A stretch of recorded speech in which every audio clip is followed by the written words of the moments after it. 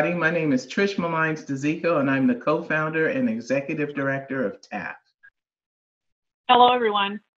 I'm Tammy Campbell, the proud superintendent in Federal Way Public Schools.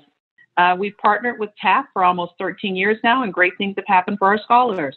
We both like to welcome you to the third annual Comcast Innovation Challenge presentations. And this is our first year bringing it to you virtually. There's nothing like powerful project-based learning. And we believe that it will translate virtually because our scholars will bring their creativity, their innovation, and their problem solving, as well as their search for answers to real world questions. We're excited. Now, Comcast has been an important partner of TAF since the early 2000s when we were still offering out of school time programs. But today, what you're going to see is our kids demonstrating their ideation, critical thinking, problem solving, collaboration, data analysis, and communication skills they gained in the classroom and by participating in experiences like the Comcast Innovation Challenge. Parents, scholars, we can't wait to see you at this event. Come on out, show us what you've got. We're excited to see all of your hard work. We're all excited to see the students' work, so let the countdown begin.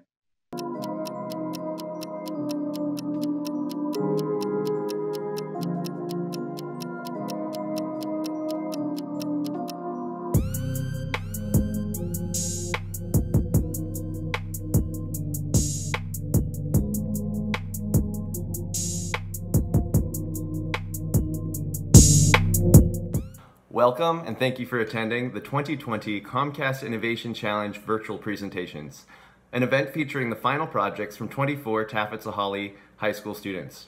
I'm Brandon Carlisle, TAF@Saghalie science teacher and TAF Innovation Challenge teacher advisor. And over the past few months, I've had the pleasure of overseeing our students as they've dedicated significant time and effort to solve an authentic community issue. In this year's challenge, students were split into six teams and tasked with solving the question, how can we increase the preparedness and independence of people with disabilities during natural disasters through the use of assistive technology? With the help of their Comcast mentors, these teams have produced their best solutions through a process of research, creativity, technology, and innovation. Today, you'll have a chance to vote and decide which team has the prize-winning solution. First, let's hear from Rodrigo Lopez, the Regional Senior Vice President for Comcast Washington, who can tell you more about the challenge and prizes.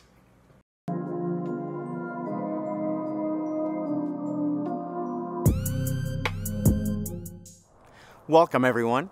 Thanks for joining us as we celebrate the hard work and creativity of these innovative students. They have worked hard on their projects since January, and Comcast, in partnership with TAF, is proud to support them on this journey. We're also proud of our employees who have dedicated their time and energy to mentoring the students throughout the entirety of this project. Our thanks to all of you who volunteered.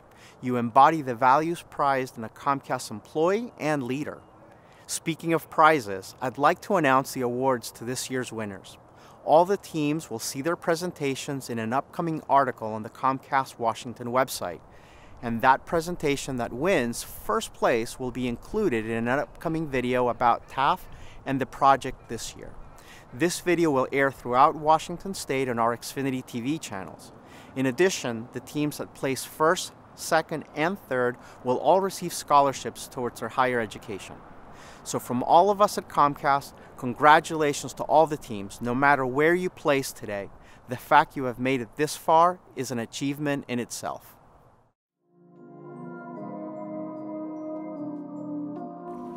We're really close to hearing from our students. But before we do, let me give you some more background information on this year's challenge and the process, materials, resources, and support student had access to through the program. Back in December, Comcast hosted our students for a field trip to their local offices. Students were divided into their teams and introduced to the challenge and their mentors. Student teams were supported by different Comcast mentors throughout the challenge, who specialized in three different phases. First, ideation, second, prototyping and development, and finally, branding and presentation. Each team was given a small budget of $100 to order their materials and had access to a variety of tools and resources, including TAF@Saghalie's engineering lab and makerspace. The majority of this work took place after school over two months, as well as in remote collaboration on their final presentation. Now let me tell you how the voting process works. You'll hear from a total of six teams today, each numbered one through six. To vote, click on the link to our voting page in the description. You'll be ranking each team from first to sixth in each of three categories, process, product, and presentation. When the votes are tallied, we will announce the winners on TAF's social media channels. Once all teams have presented, I will review the teams again and you will have a chance to cast your vote. First up is a team that has done a particularly excellent job of leveraging each member's unique talents. This is Team 1, the Air Vest.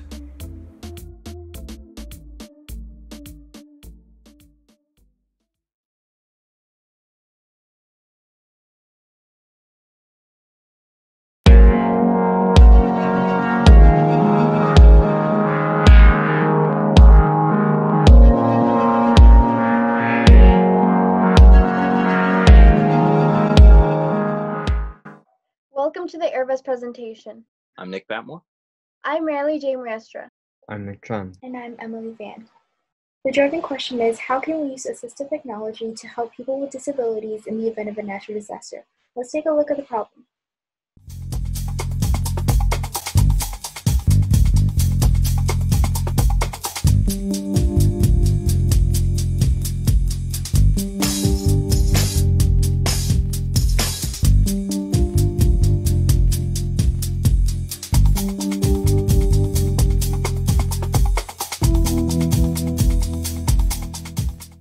Our solution is the AirVest, the new pioneer in fall safety technology. The AirVest is a lightweight vest that can be worn by anybody at any time. It uses innovative technology to keep someone safe from falls. The AirVest has a lightweight and, and fashionable design as well as a fall detecting technology. Our inspiration comes from this quote by Muhammad Gemini along with the special education program at TAF@Saghalie. So what makes our AirVest so special? Well, it's equipped with a sensor that can detect falls and activate in under a second, and it contains an airbag on the inside of the vest for a discreet but effective design. A little bit more about the AirVest. It is hand sewn with a reflective strip so it can be worn at night. It uses an accelerometer and gyroscope to detect if a fall is happening. It is very compact and it can be folded with ease. It uses a servo motor to activate the CO2 canisters. It has a floata- floaty to cushion falls, and it has a CO2 canisters to inflate the floaty. The AirVest lightens the fall, reduces injuries, and allows the user to get up faster. In addition, the AirVest can be a great gift to a loved one, and anyone can use it anywhere they prefer. So what are our next steps? Well, 25% of our profit will be donated, and we will donate the money to charities and foundations that help people with disabilities. We would also like to express our gratitude to our fellow companions in the special education programs that helped inspire us. If you'd like to learn more about our AirVest, feel free to check out our website. Thank you.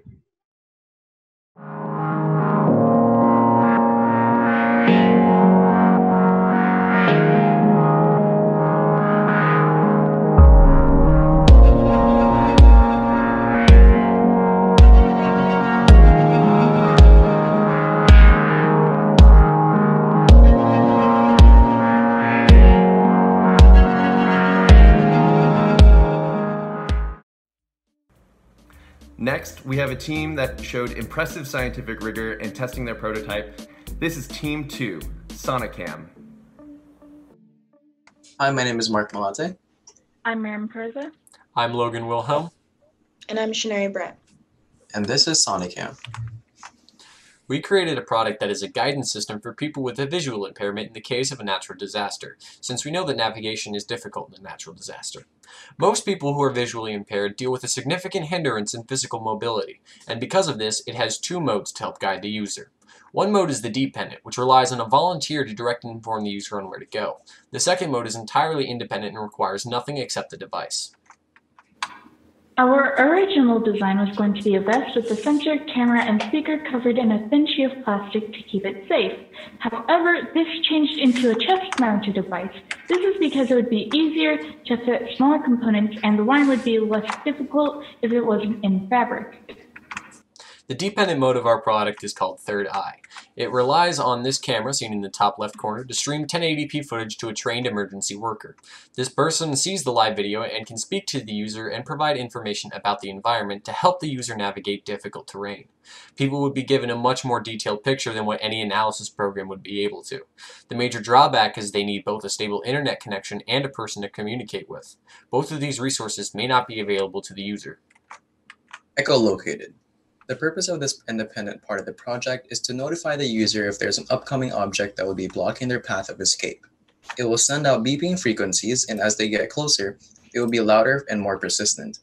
The time from the release of the low frequency sound wave and when it is received will calculate the distance between the user and the object. For our first test, we placed a solid object right in front of the sensor 10 times for each range, varying from 1 meter to 6 meters. As you can see, there is a minimal error space of 2.86 centimeters or less.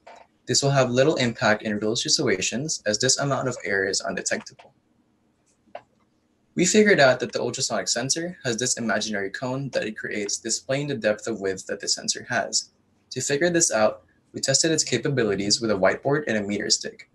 We examined at which minimum point of horizontal depth this whiteboard will be sensed, as this will help in a real life situation due to the fact that it is sensing a closer object, which is more hazardous and dangerous for the user at that time and moment. Implications Port forwarding would allow other users to be able to access our webcam server from another location that is not connected to the same internet connection as the user of the device. We also plan on improving the quality of our webcam by prioritizing the enhancement of frames per second while still maintaining our image quality, which can be done through programming. Originally, we were using a stationary power supply, but this cannot be used on the go.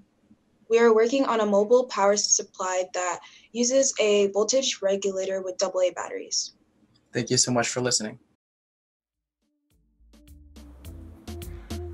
Next, we have a team that overcame significant issues with faulty hardware that they had ordered, not once, but three times in two months. This is Team 3, Emergency Watch. Hello, my name is Dimitri Koliada. My name is Ashok Chan. My name is Lavani Dio. And I'm Nicole Carmelo. And this is our Comcast presentation 2020. Importance of natural disasters is that they could happen at any point in time and you always gotta be prepared. Our project aims to help people with disabilities to do just that.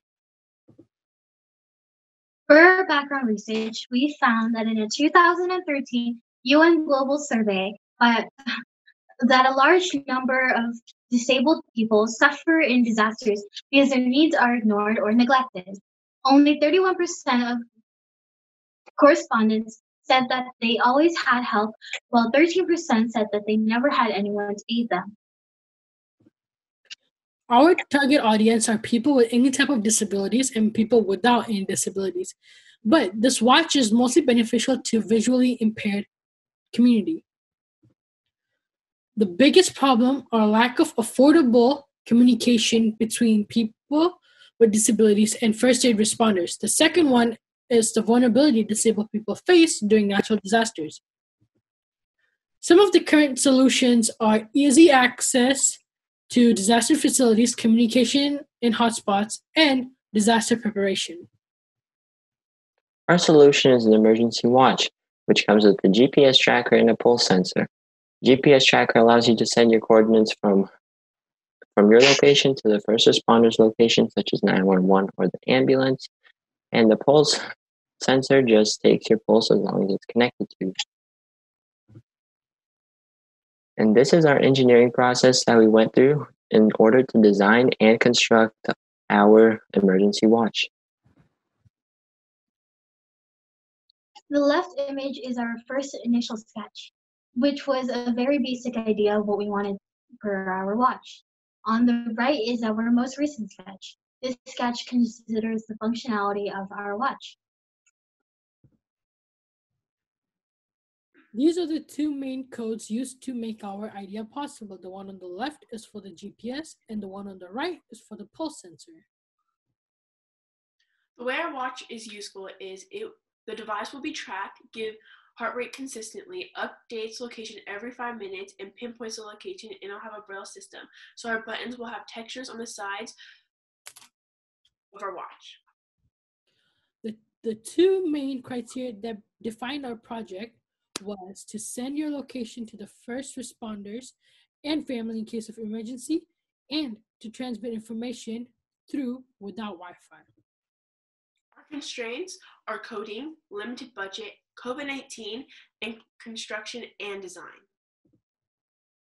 The materials of our watch was an Arduino Nano, a GPS receiver, a USB cable, a watch frame, a watch wristband, a pulse sensor, a Dupont wires, and a GPS module. These are our sources, and thank you for your time. Next, we have a team that took a very different and unique mechanical approach to this challenge. This is Team 4, the hooded wheelchair.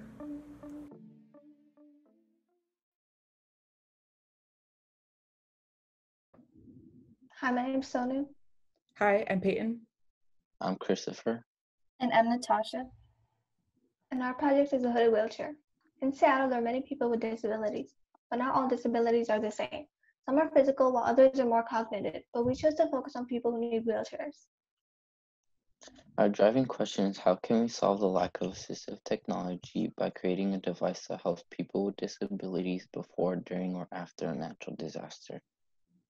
12.8% of the US population has a disability, with 6.3% of that being children. Over 2.7 million individuals use a wheelchair every single day, and according to a UN Global Survey, confirms that out of 5,450 individuals living with a disability, 20% had great difficulty getting to safety in a natural disaster, while 6% could not get to safety by themselves at all. We wanted to create a product that will protect the head of an individual that uses a wheelchair by folding out from the back and acting as an umbrella that deflects debris and other heavy objects.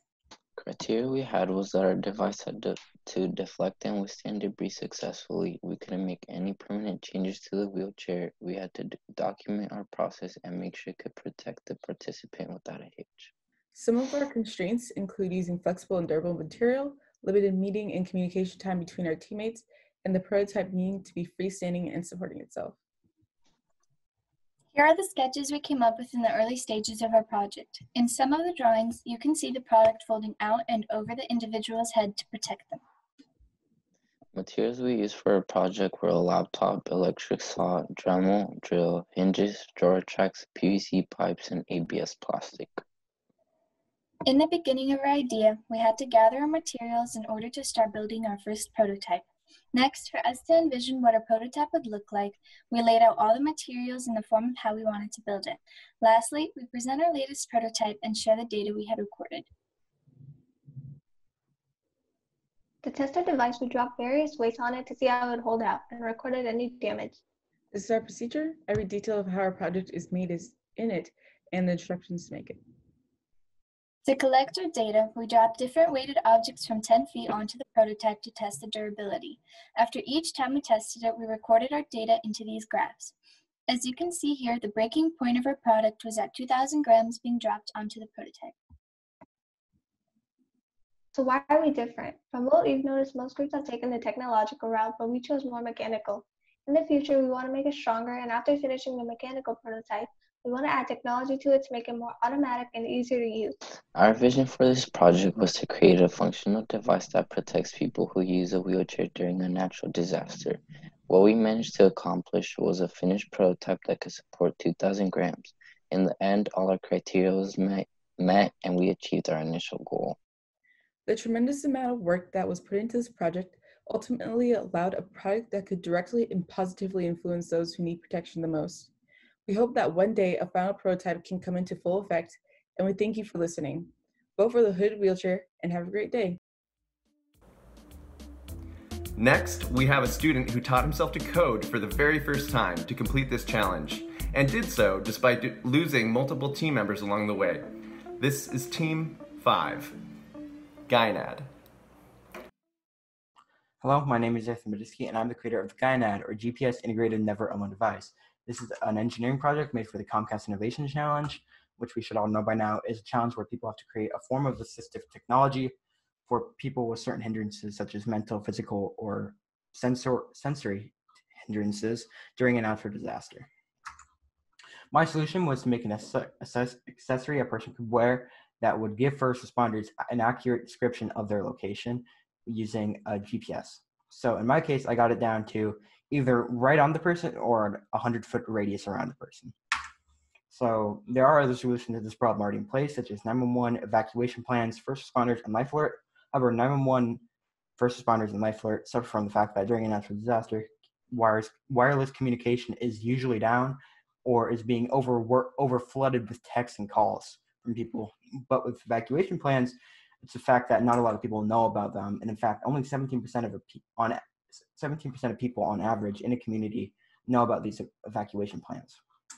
Now, the criteria for my device was to make it, it was to have it be able to send longitude and latitude data between themselves and would be easier for first responders to understand. And the constraints were the cost, but Comcast helped a lot with that. Learning a new skill because I under, had to understand how to write and read the Arduino language and C++ because Arduino is just an implementation of C++. The materials and how to wire wire them, uh, code for them, and implement them. power power because size, is a size is a constraint. Power is a constraint because there's only, only so much power you can fit into a tiny battery, and fixing everything in time. So the materials I used were Arduino Nano and Uno. However, you can just use Arduino Nanos. I just had an Arduino Uno on hand, so I used that. And an LCD screen, uh, G, six GPS made by NeoBlocks, or actually it's u-blox, Neo u-blox 6M, and a 2.4 gigahertz transceiver, and of course wires. So right here you can see some schematics for the design that I made. Uh, this is for the receiving end. This is the transmitting end. You can see the LCD screen, transmitter, and the Arduino Nano. And I actually have them right next to me. So right here, yeah, I'll just take it off. This is the transmitter. So this is what gets the GPS data and transmits it to the first responders. And then this is the receiver with an LCD screen. And I'm gonna get the code up here in a second, so I'll be back. All right, so this is the code for my devices. Right here is the transmitter, and right here is the receiver. Now, this while this code does work, there are a couple changes I'd like to make with this and the overall device to limit its size. So I'd like to use an Arduino Mini in the future and use and make an actual wristband out of it. However, this has been my presentation and I hope you enjoyed it. Thanks for watching.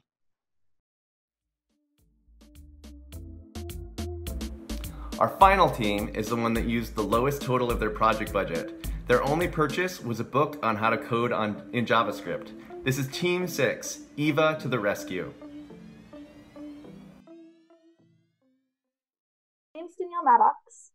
I'm Kish Vo. I'm Karina Soltero. And I'm Frank Fishback. And this is Eva to the Rescue, Evacuation Virtual Assistant. Meet Eva. Eva is an artificial intelligence that our team created to alert people with disabilities to natural disasters in their area and help them prepare for and respond to accordingly. She is able to connect to your phone through an app or an affordable Google Home, which makes her very easily accessible. She's a one of a kind AI where she speaks to you first when there's danger rather than waiting for you. During our research process, we found that 71% of people with disabilities do not have a preparedness plan for natural disasters. Additionally, we learned that virtual assistants are frequently utilized by people with disabilities to amend their lives. Hello, did you know that there is a flood warning with the risk of possible evacuation in your area?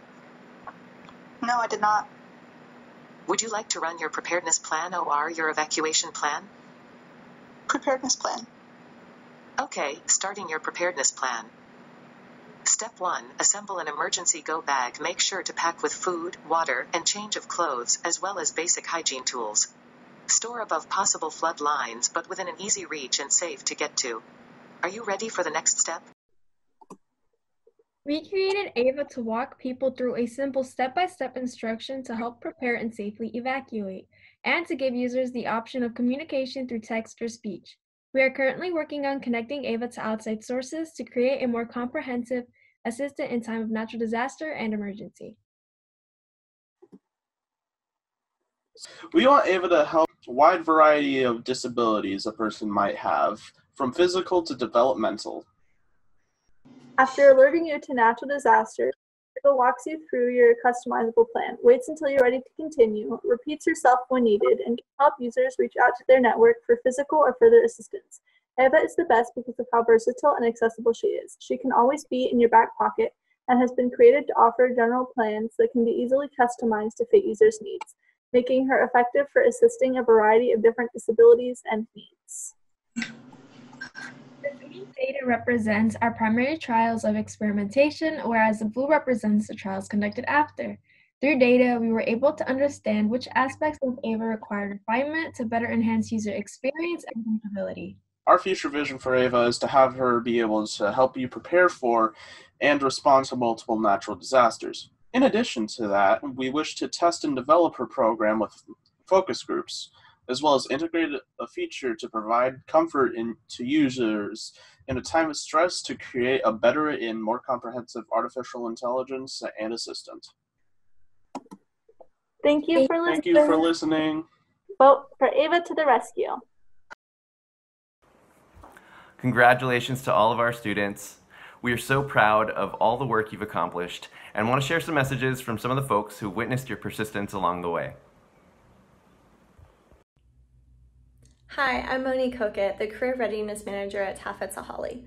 I've had the privilege of working with these students over the last five months on this challenge.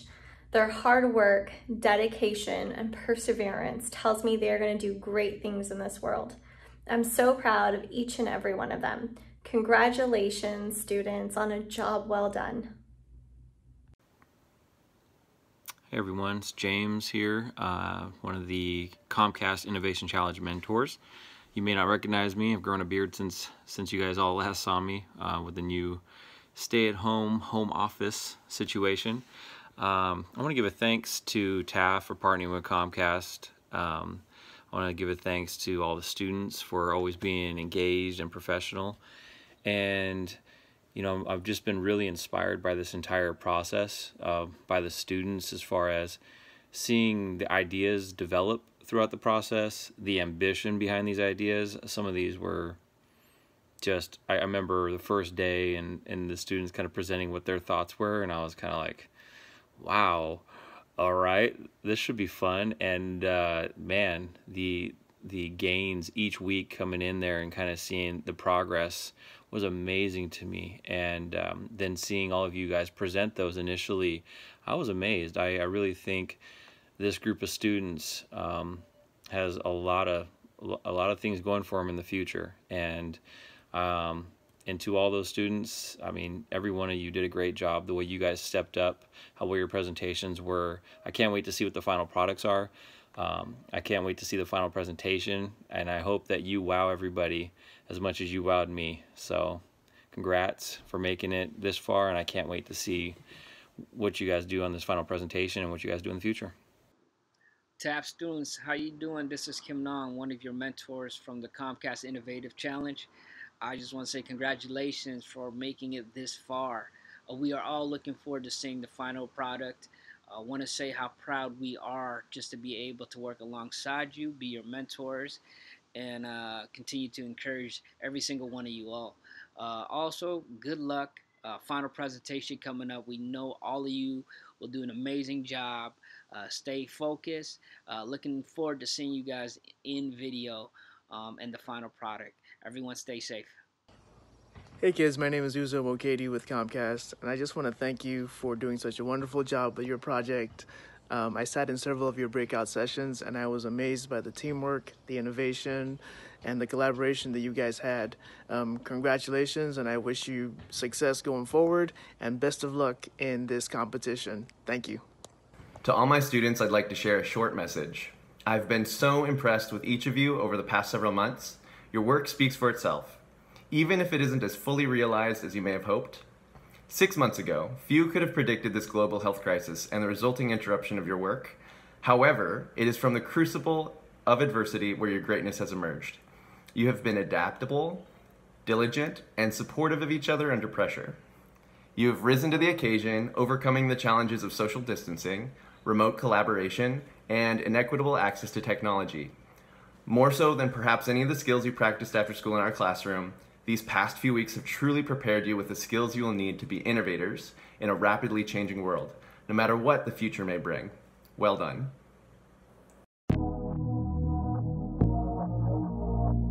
It has been so exciting to watch these projects develop. Again, here are the prizes. For third place, scholarships of $600 per student. Second place, scholarships of $900 per student. And for first place, scholarships of $1,500 per student and a laptop. To vote, click on the link to our voting page in the description. You'll be ranking each team from first to sixth in each of three categories, process, product, and presentation. When the votes are tallied, we will announce the winners on TAF's social media channels. Again, here are the teams that you saw today. Team 1, the Air Vest. Team 2, Sonicam. Team 3, Emergency Watch. Team 4, the Hooded Wheelchair. Team 5, Gynad. And Team 6, Eva to the Rescue. Thank you for joining us today. Thanks to Comcast for providing our students with this amazing opportunity three years in a row. Thanks to Technology Access Foundation for bringing your partnership to create programs like this at TAF@Saghalie. And thank you to all who have tuned in to watch the results of our students' hard work. Remember, you have until midnight tonight to vote. Just use the link in our bio. Thank you, and farewell.